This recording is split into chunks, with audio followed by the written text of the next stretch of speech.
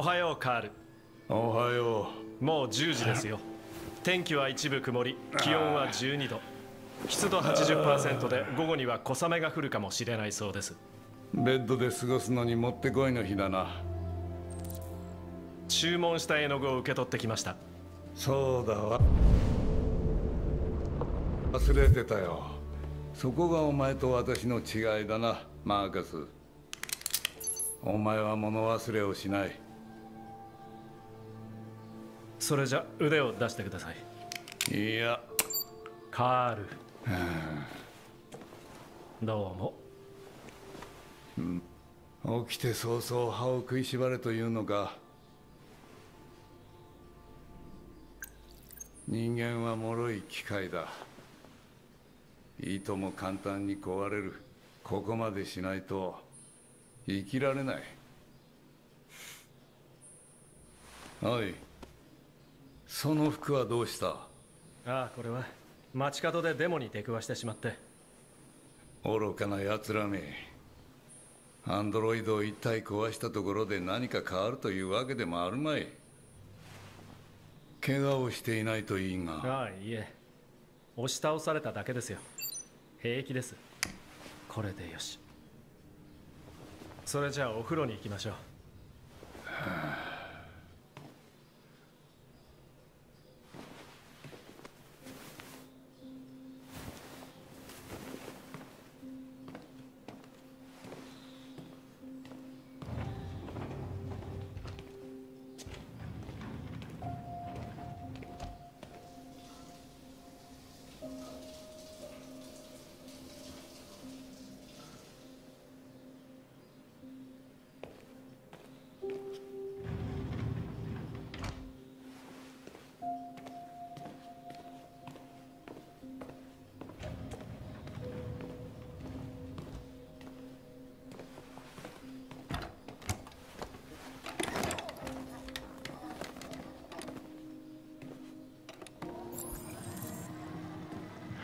今日は何か予定があったかな？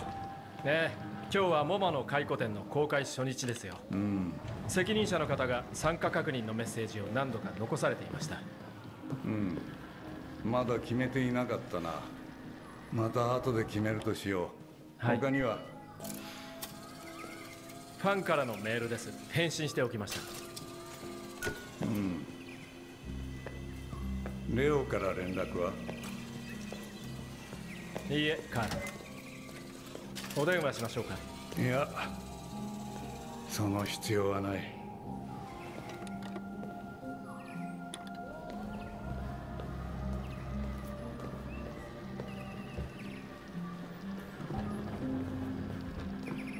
腹が減った。ベーコンと卵をお好みのスタイルで用意してありますよ。ああありがとう。いえ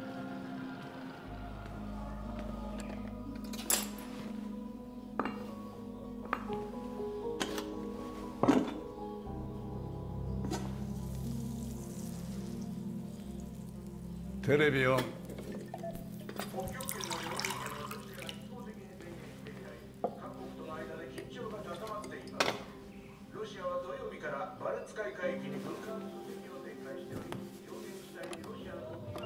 います。朝食を食べている間は自由にしていなさい。えロシアでうん。えそうします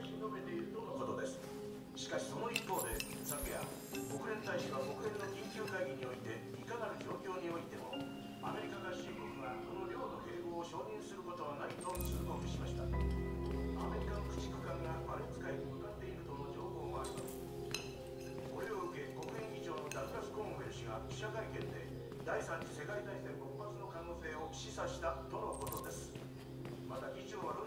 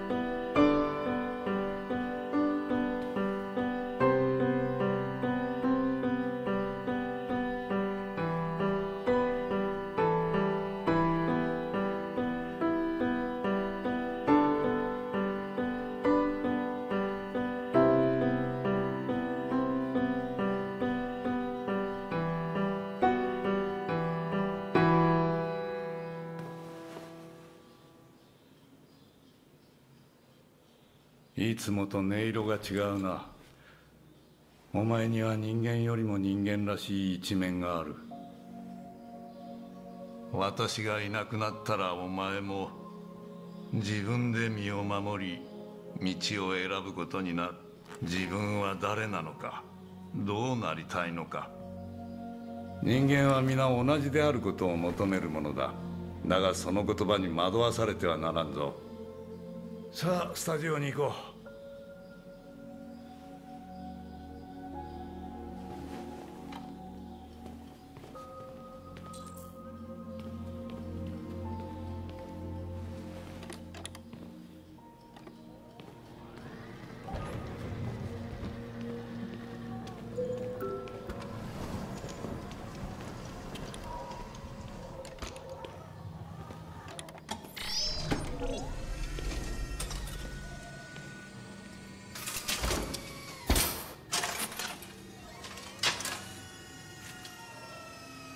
よし前回の続きだ。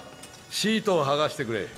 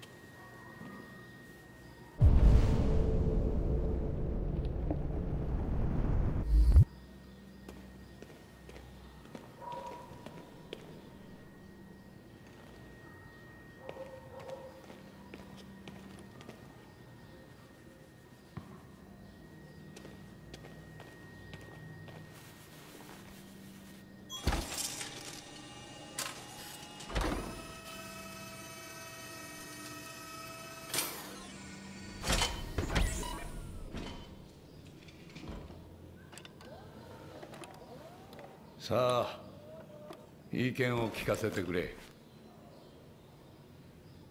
この家には何かが秘められている。うん。何かは分かりません。でも僕は好きです。正直言ってもう何も言うことはない。こうして日々が過ぎ去るごとに死が近づいてくる。私はブラシにすがりつくただの老いぼれだ。カール私の話は置いといてお前の才能を見せてもらおう。筆を取って書いてみなさい。書くって言っても何を書けば？何でもいいから書いてみなさい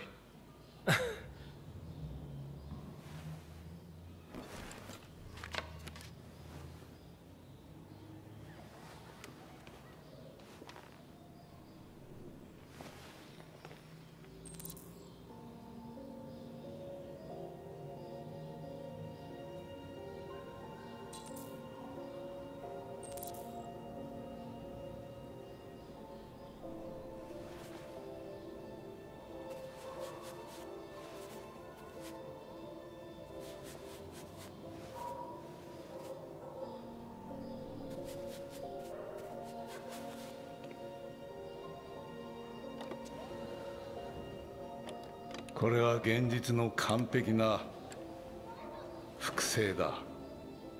だが絵画では模写するだけではなく自分が感じたことを解釈し表現することが大事なんだよ。無理ですよ。そういうふうにはプログラムされていません。さあほら筆とそのキャンバスを使って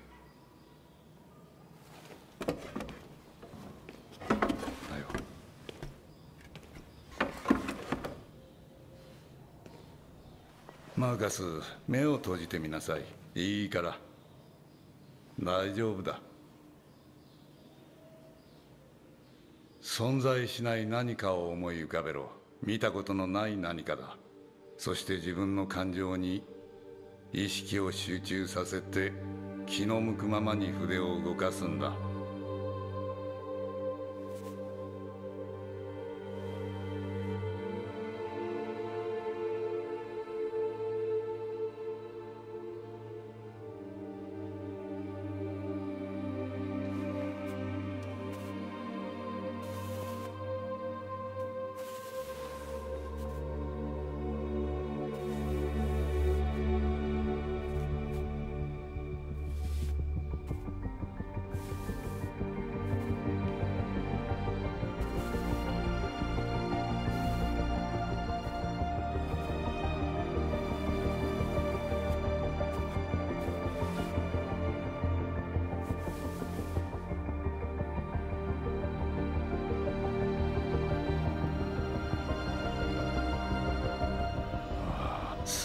し。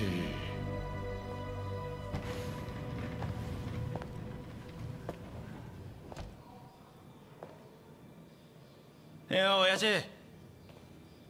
レオ気づかなかったよ。ああ近くに来たから寄ってみたんだしばらくぶりだしな。どうした？具合が悪そうだぞ。ああ平気だよなあ親父。ああ金が必要なんだよ。またか。この前渡したばかりだろう。ああほらすぐなくなっちまうんだああまた薬をやってるのか。違う。全然そんなんじゃないって。レオ私に嘘をつくな。いいから金くれって言ってんだろ。頼むよ。悪いな。お前に金はやれない。あなんで？分かっているだろうああそういうことかよ。どうせ自分の息子よりそのおもちゃの方が大事なんだろう。あこいつのどこがそんなにいいんだ。賢いから。従順だからか。俺とは違って。だけどなこいつはあんたの息子じゃねえ。こいつはただの機械だ。レオいい加減にしないか。やめなさい。あんたが愛しているのは自分と自分の絵だけさ人を愛したことなんて一度もないんだろ俺のことだって。